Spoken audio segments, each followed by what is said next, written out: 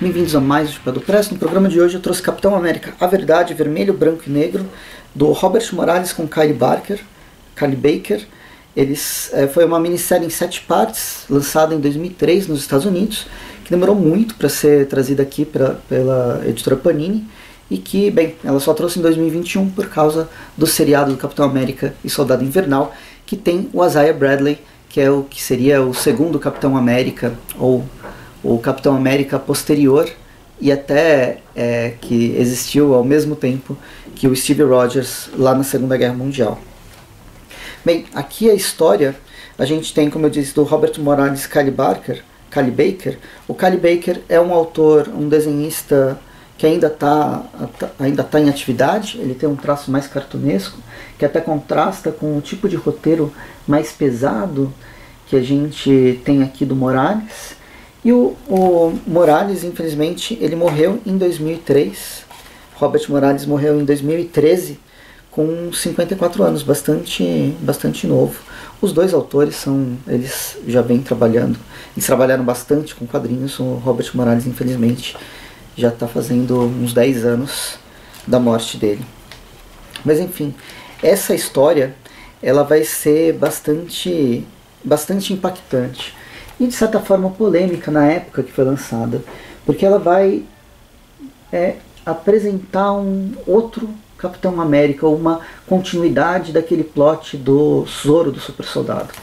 Quando o Zoro foi criado na história do Steve Rogers, ele era o Steve Rogers era um garoto franzino, que completamente magro, que acabou entrando para um, um projeto que deu super força para ele. Se transformou no super soldado, o exemplo, o, o bastião, o símbolo do exército estadunidense, antes mesmo de entrar na Segunda Guerra Mundial, então ele já estava fazendo algumas missões. Esse soro ele foi é, colocado apenas no Capitão América e depois várias é, vários grupos tentaram replicar essa, esse soro mágico, essa poção de superpoderes. E aí a gente tem, ao longo da história do Capitão América, várias tentativas de replicar. O próprio Caveira Vermelha foi um, um, uma, dessas, uma dessas tentativas. No exército, no, nas Forças Armadas estadunidenses, com a morte do Dr. Erskine, que é o criador do soro do super soldado, também existiu essa tentativa de recriação.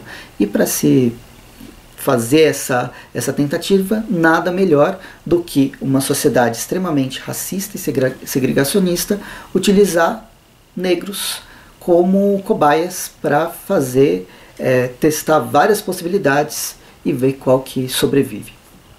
Bem, essa história ela vai acompanhar vários negros que são que foram que entraram para o exército, alguns sendo obrigados, outros já estavam no exército, mas vai mostrar como esses, esse grupo de pessoas, ele mesmo defendendo a pátria, né, sendo é, contratados, sendo eles tendo esse, essa missão de defender os Estados Unidos, eles eram considerados pessoas de segunda classe, pessoas que não estão lá para é, defender alguém. Até os, os brancos eles não querem que os negros se misturem.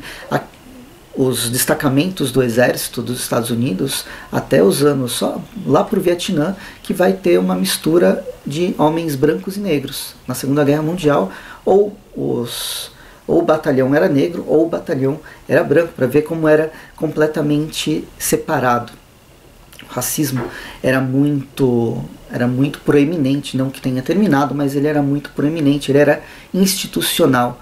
Lembrando que, bem, desde a Guerra Civil em 1860 até 1960, 1970, em todo esse período que a escravidão terminou, a segregação não terminou. E existiam várias leis que até promoviam não o trabalho escravo, mas o trabalho análogo à escravidão, permitia que isso acontecesse, é, colocava sempre uma separação, principalmente nos estados do sul, onde os negros tinham que sentar no fundo dos ônibus, onde eles não podiam utilizar o mesmo banheiro, não podiam entrar no mesmo restaurante. A Ku Klux Klan, um dos maiores exemplos de grupo assassino que massacrava pessoas. E ao longo da história dos Estados Unidos, e não só dos Estados Unidos, mas especificamente deles, a gente tem vários, é, várias comunidades sendo utilizadas como cobaia. Na década de 30, 60, 70, até a década de 90, é, pesquisem esses, esses movimentos. É, comunidades negras foram utilizadas como cobaias para serem. É, para testar, ver, ver uma doença, como que ela se desenvolve, ver a tentativa de novas, novos medicamentos, inclusive sem, sem que essas sociedades saibam. Isso aí foi trabalhado em várias, em várias, em vários locais, né, da, das, em várias produções, principalmente mais recentes, mas o Raio Negro, o seriado do Raio Negro vai mostrar um pouco disso. E esse a verdade vai desenvolver é, essa ideia, criação de um soro de super soldado, o teste em centenas de soldados negros e ver apenas quem sobrevive. No fim, existe toda uma progressão que vai, vai sobrar só essas cinco pessoas e dessas cinco pessoas praticamente nenhuma delas sobrevive sem ter alguma sequela. É bem interessante como o, o roteiro, como essa história, né, como o Robert Morales ele trabalha a verdade, porque ele quebra aquela aquele ideal do Steve Rogers, aquele ideal do Capitão América como o grande símbolo dos Estados Unidos, como se o próprio Estados Unidos fosse esse símbolo de igualdade e liberdade, e mostra que a igualdade é para, para os iguais e não para, para as outras sociedades que vivem nos Estados Unidos e que são colocadas como segundo plano.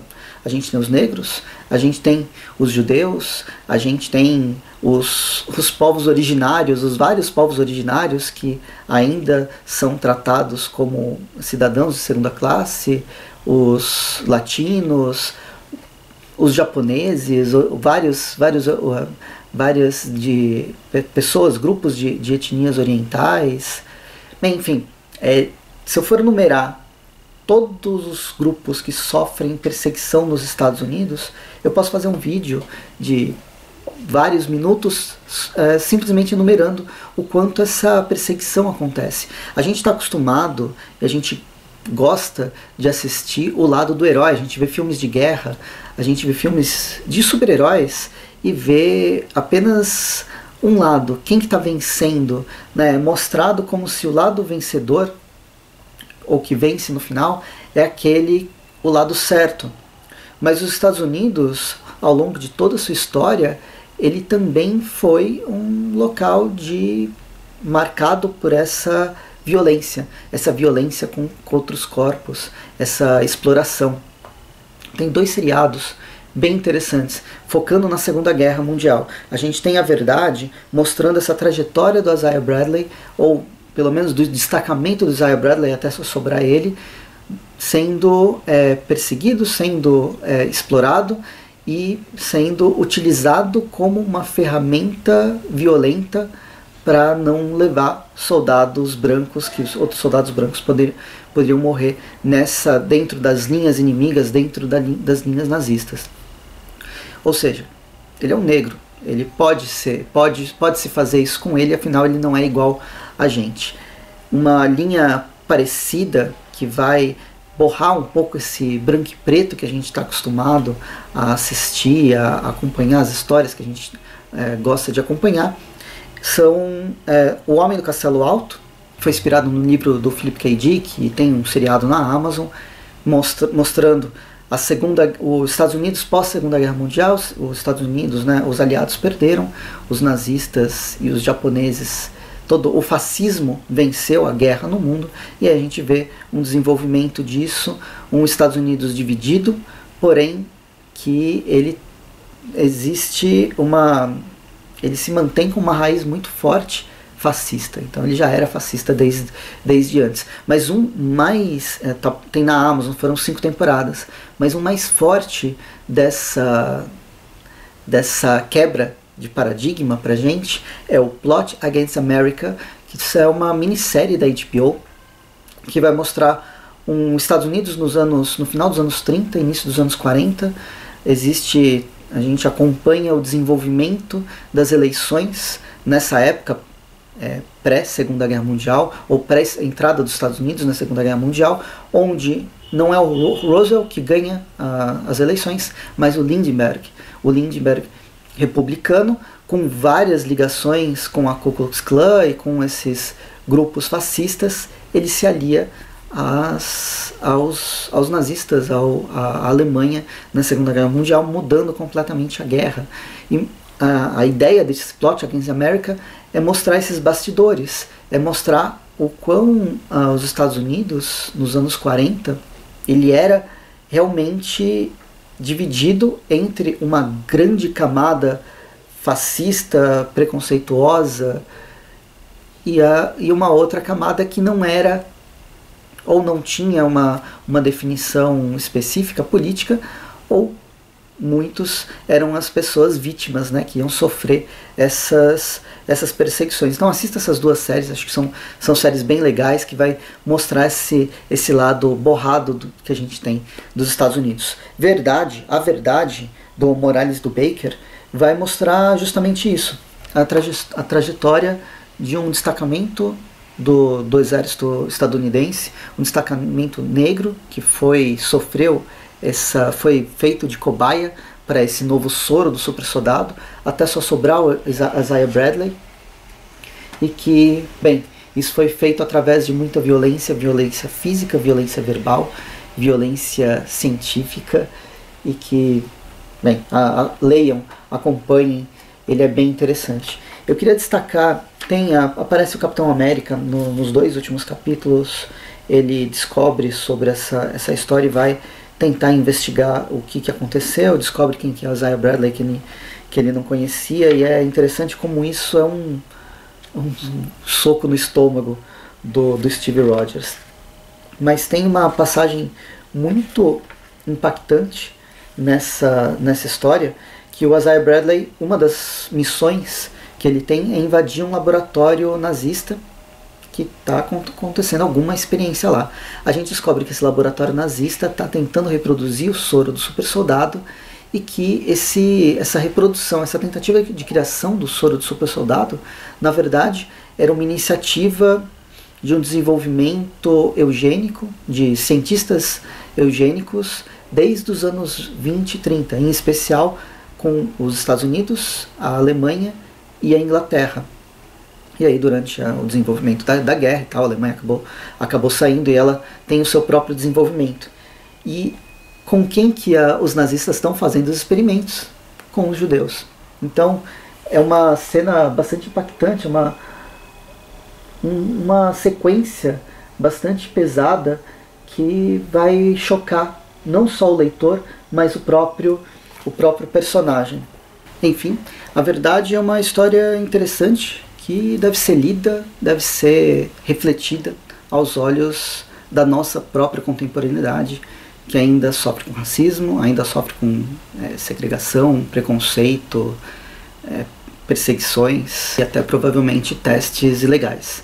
Mas enfim, Capitão América Verdade, as outras duas séries que eu falei, é, espero que vocês tenham gostado do vídeo. Comentem no vídeo se vocês leram, não leram, ficaram curiosos ou não. É um tema bastante pesado, mas bastante interessante que deve ser, deve ser sempre retomado, deve ser sempre é, lido e discutido.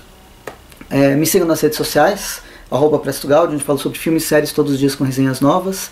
Tem o Fortaleza Quântica, que é um podcast onde eu, Rafael do Multiverso 38, a gente conversa sobre filmes, séries, quadrinhos, faz várias entrevistas, sempre tem várias recomendações, então procure Spotify, Anchorage ou qualquer outro agregador de áudio, são episódios atemporais e são bem divertidos. Procurem por lá.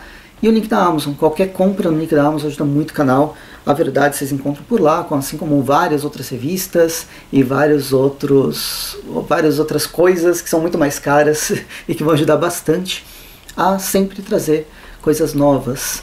E enfim, eu vou ficando por aqui, espero que tenham gostado do vídeo, até mais e bons quadrinhos.